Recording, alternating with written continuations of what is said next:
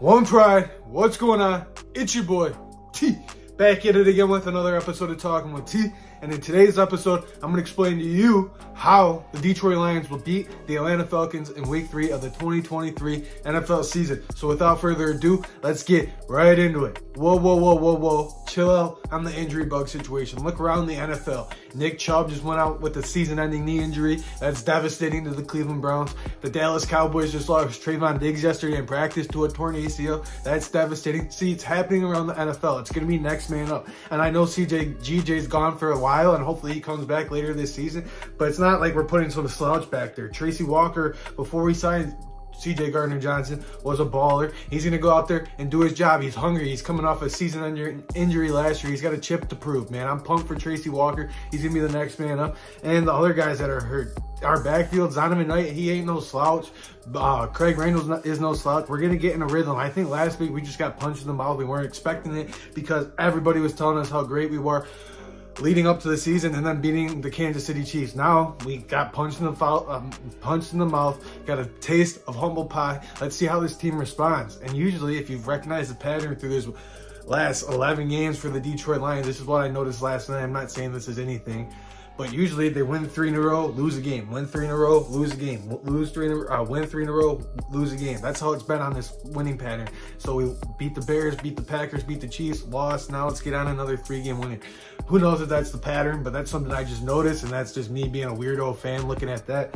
But this is how you beat the Atlanta Falcons. You got to stop their run game. You know they're going to pound the rock. They got probably the offensive rookie of the year if he stays healthy, just because the usage, they use him all over the field. He's their star player on offense, and he's a rookie. So he's probably going to win offensive rookie of the year. Bijan Robinson, we got to know where he's at in all times. They like bring him in motion, get him the ball in the, uh, in the the flat. They like to give him jet sweep. They like to get him the ball in all kinds of ways. And who wouldn't, man? If you got a weapon like that, that's how the Detroit Lions should be using Jahmyr Gibbs. And I'm sure they will now that Demo is not going to be playing for the next couple weeks. We're going to see a lot of J uh, Jahmyr Gibbs, and we'll see.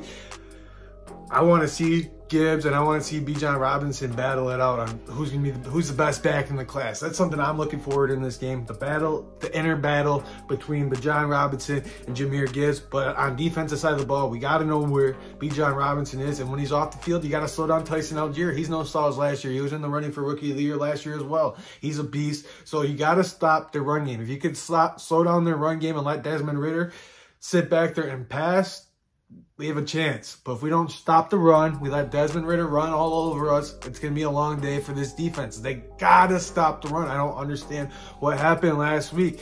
I know it's Seattle, and I just feel like they just had our number the last couple of years, and they know Aaron Glenn's defense like the back of their hand, like a glove.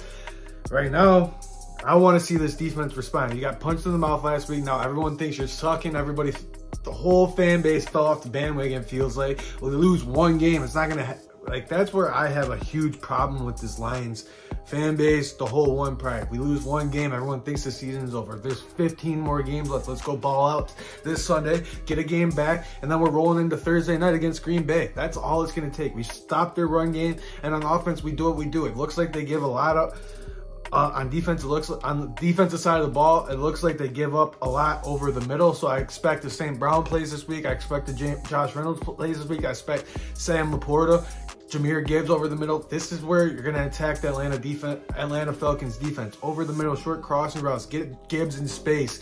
Get, uh, uh, let's establish the run game. Let's start mowing people like this offensive line. And Halapoulivaati Vaitai not playing, but that's all right. We we got Graham Glasgow. Then we got Taylor Decker, who's probably not going to play. So it's going to be the same deep offensive line last week. Let's get in the rhythm. Let's get some chemistry rolling. It's going to be fine. We're going to roll in this week, and we're probably going to beat the Atlanta Falcons 28, 24, 28, 21. That's where I'm seeing this game. Maybe 31, 28 Lions, 31, 24 Lions. That's how I'm seeing this game. I don't expect us to get ran off the field by the Atlanta Falcons. I really don't see that. Their last couple games against the Carolina Panthers, they ran away with it late because they're just wearing teams down. Who's going to be the uh, Who's going to be in more shape? Who's going to be the more physical team on Sunday? And that's what it's going to come down to.